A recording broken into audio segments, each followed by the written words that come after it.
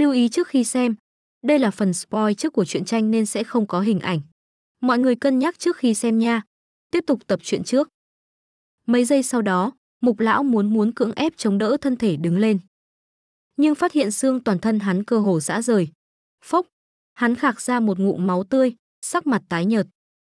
Ánh mắt hắn gắt gao nhìn chằm chằm Diệp Thần, kinh hô, làm sao có thể, thực lực ngươi lại tăng trưởng đến bước này. Giờ phút này ai có thể hiểu trong lòng mục lão rung động. Từ sự kiện tỉnh An Huy kia đến bây giờ, mới ít ngày. Thực lực đối phương lại cường đại gấp mấy lần. Chỉ một cái là có thể đem bọn họ đánh bại, thủ đoạn này cũng chỉ có trịnh tông sư mới có thể làm được. Nhưng là trước mắt, tiểu tử tới tuổi 20 này lại đạt đến loại thực lực này. Ai có thể giải thích? Trong lòng hắn tung lên sóng gió kinh hoàng, muốn nói gì cũng rốt cuộc không nói ra. Hắn hận không đem ánh mắt chừng ra ngoài. Diệp Thần một bước bước ra, đi tới trước mặt Mục lão, cảm giác bây giờ rất khó chịu đi, ban đầu ở tỉnh An Huy, ta chính là bị như vậy, ngươi còn nhớ không? Mục lão lần nữa khạc ra một ngụm máu tươi, thời khắc này hắn thống khổ đến mức tận cùng. Xương sườn gãy lìa trực tiếp đâm vào nơi yếu ớt nhất trong thân thể hắn. Hắn từng ngụm từng ngụm khạc ra máu tươi, lại là từ hông lấy ra một cây dao găm, muốn kết thúc sinh mạng mình. Nhưng là hắn vừa định động chủy thủ, một cổ uy áp vô hình bao trùm tới. Hắn nhúc nhích không được.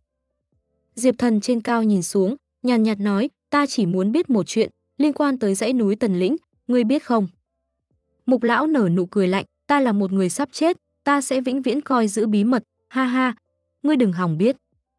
Diệp Thần lắc đầu một cái, trong tay xuất hiện mười mấy cây ngân châm, ngân châm đồng loạt bắn ra, không ngừng run rẩy. Một giây kế tiếp, gương mặt mục lão lại kinh hoàng, một cổ đau đớn thực cốt lan khắp toàn thân. Loại cảm giác này khó chịu đến mức tận cùng. Giống như muốn chết. Ngươi đối với ta, làm cái gì đối với ta? Mục lão thanh âm run run vang lên, hắn liếc xéo đến ngân châm trên người, biết chuyện này khẳng định cùng đối phương có liên quan. Mấu chốt loại đau khổ này đến võ giả không chịu nổi. Diệp Thần móc túi ra một điếu thuốc, yên lặng đốt, huyệt vị thân thể con người rất thần kỳ, hắn có thể điều khiển cảm giác đau người khác, cũng có thể lừa dối thân thể con người, không biết ngươi có thể chịu đựng thời gian một điếu thuốc hay không, ta coi trọng ngươi. Mục lão cảm giác trên người toàn tâm chi đau càng ngày càng mạnh, hắn toàn thân run rẩy, con ngươi máu đỏ, miệng sùi bọt mép. Hắn muốn chịu đựng, nhưng căn bản không chịu nổi. Dừng lại cho ta, ta nói, ta cái gì cũng nói. Mục lão rốt cuộc mở miệng thỏa hiệp. Diệp thần đem khói trong miệng dập tắt, phát hiện mới quất một nửa mà thôi, năm ngón tay hắn nắm chặt, mấy cây ngân châm trong đó bay ra, mục lão mới dễ chịu hơn mấy phần. Nói đi, Diệp thần nhàn nhạt, nhạt nói. Lần này Long Mạch Tần Lĩnh xảy ra chuyện, thật ra thì liên quan đến rất nhiều thế lực, Long Mạch mặc dù quan hệ đến khí vận hoa hạ, nhưng là đối với cổ võ giả cùng với người tu luyện mà nói là vật đại bổ, một khi hấp thu lực Long Mạch, thực lực tất nhiên sẽ lớn tăng, Mục lão nói. Tiếp tục. Mục lão sâu đậm nhìn Diệp Thần một cái, tiếp tục nói, Long Mạch Tần Lĩnh coi như xảy ra chuyện, vậy sẽ không ảnh hưởng đến kinh thành. Trịnh Tông Sư và mấy vị thế lực kia sớm ở mấy tháng trước liền bố trí, chuyện này thuộc về cơ mật cao độ, ta cũng là gần đây mới biết. Bách Lý Hùng đâu? Những người này chẳng lẽ bày cạm bẫy nhằm vào Bách Lý Hùng? Diệp Thần hỏi. Mục lão lắc đầu một cái, còn như Bách Lý Hùng, ta không biết, ta chỉ biết là Tổng cục Võ đạo Hoa Hạ đã tìm được mấy cái thân thể cường giả thiết huyết doanh. Chuyện Long mạch Tần Lĩnh đã bị rất nhiều người biết, những người đó cũng muốn chia một chén canh, tình huống bây giờ có chút mất khống chế. Càng ngày càng nhiều thế lực tràn vào dãy núi Tần Lĩnh, không chỉ Hoa Hạ, còn có những quốc gia khác. Trịnh Nhân Quyết đâu? Trịnh Tông Sư đang ở chỗ này lấy 30 dặm đất Tây, nơi đó là chỗ sâu dãy núi Tần Lĩnh, cũng là nơi Long Mạch xảy ra chuyện. Nếu như ta không đoán sai, Bách Lý Hùng chắc ở bên trong, ta biết chính là những thứ này, van cầu ngươi cho ta một thống khoái.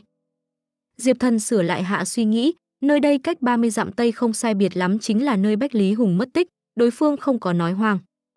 Hắn gật đầu một cái, xoay người hướng đi tới mặt Tây. Mục lão thấy đối phương không động thủ, con ngươi lộ ra một tia mừng rỡ, đột nhiên, mấy đạo hàn quang bắn tới. Sợ hãi kinh khủng kia lần nữa tấn công tới. Diệp Thần, tên tiểu nhân hèn hạ ngươi. À. Một cổ thanh âm tê tâm liệt phế vang khắp.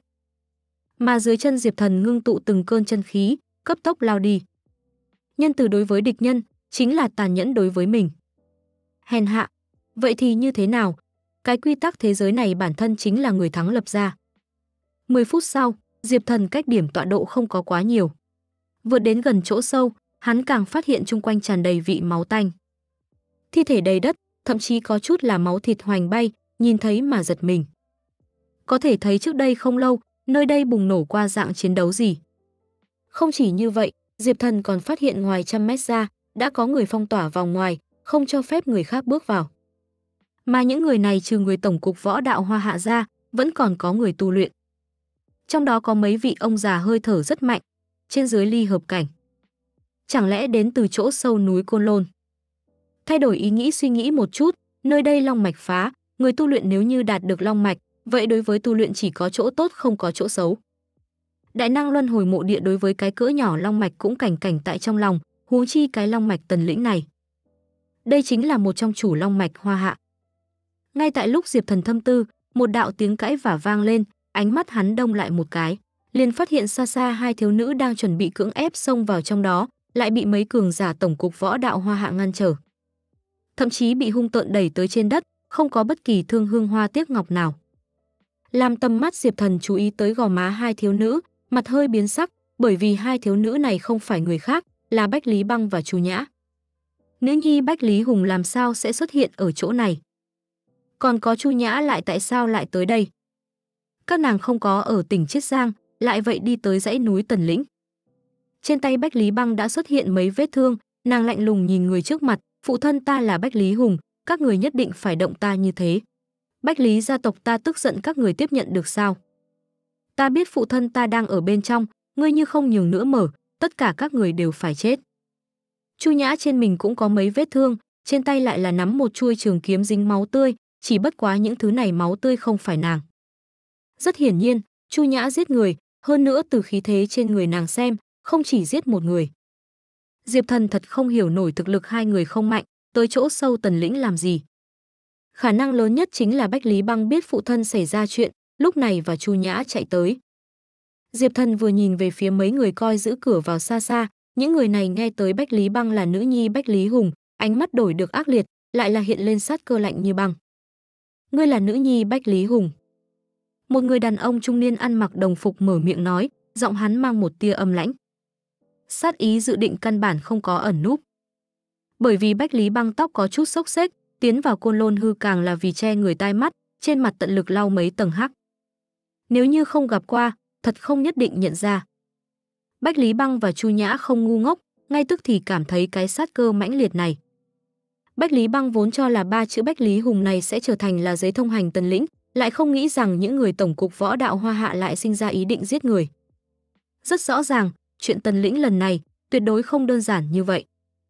Chẳng lẽ phụ thân xảy ra chuyện, tổng cục võ đạo hoa hạ dính dấp trong đó? Nếu không đám người này làm sao dám động sát tâm với mình? Bách Lý Băng không nghĩ nhiều nữa, cười một tiếng lắc lắc đầu nói, ta tùy tiện nói một chút, nếu không thể bước vào, vậy chúng ta liền không quấy rầy, cáo tử. Chu Nhã, chúng ta đi.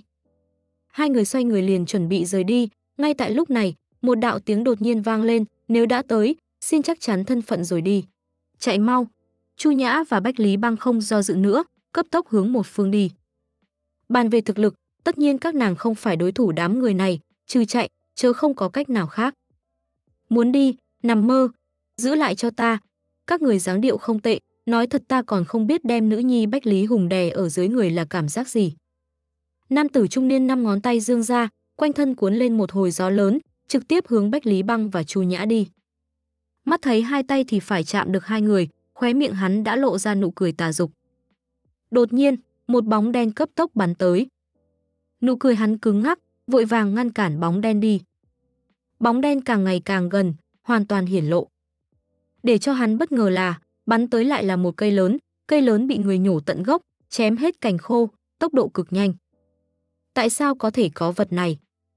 Hắn không nghĩ nhiều nữa, một trưởng hướng vỗ tới cây lớn, vốn cho là cây lớn ở một trưởng mình sẽ vỡ vụn ra, lại không nghĩ rằng không chỉ cây lớn không có vỡ vụn, thân thể hắn ngược lại là bị đụng bay. Đợt khí cường đại để cho hắn không thể phản kích chút nào. Bành! Cây lớn đụng vào thân thể người đàn ông trung niên tại cây lớn, lực lượng cường đại để cho thân thể hắn đè ép biến hình, tại chỗ bỏ mình. Những cường giả canh giữ ở cửa còn dư lại cảm giác không đúng, cũng không đoái hoài tới cái gì, hướng hai nữ nhi đi. Nhưng là còn không có bước ra mấy bước, mấy đạo đao gió cực mạnh tấn công tới. Con ngươi bọn họ co giúp một cái, vội vàng lui về phía sau, ngay tức thì tại chỗ xuất hiện mấy đạo hố sâu, có thể gặp đao gió uy lực. Rốt cuộc là ai? Ai ở trong bóng tối, đi ra. Nhanh lên ngăn con gái Bách Lý Hùng lại, người này có thể uy hiếp Bách Lý Hùng.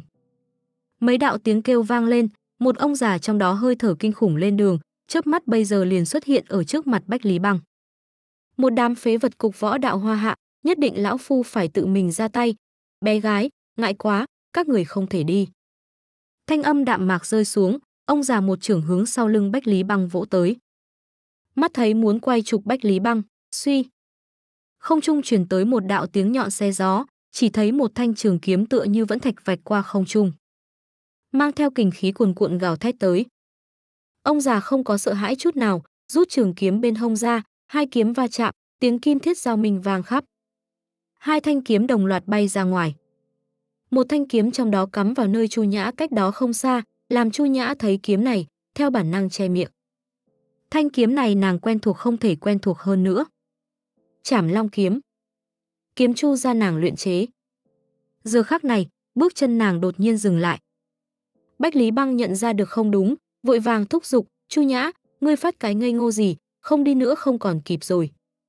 Chu Nhã khóe miệng lộ ra một đạo nụ cười, mắt đẹp như nước, thanh âm kích động vang lên, "Băng Nhi, chúng ta không cần đi, hắn tới." Ai tới? Bách Lý Băng đầu óc mơ hồ, cũng là bước chân dừng lại. Diệp Thần.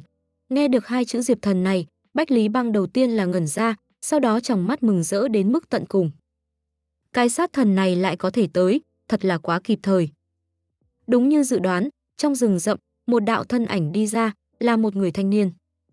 Thân thể thanh niên thẳng, hai tay chắp sau lưng, con ngươi hiện lên một tia lãnh ý, một tia hơi thở mờ mịt ở quanh thân hắn vờn quanh. Ông già xa xa gắt gao nhìn chằm chằm thanh niên, mở miệng nói, ngươi là ai?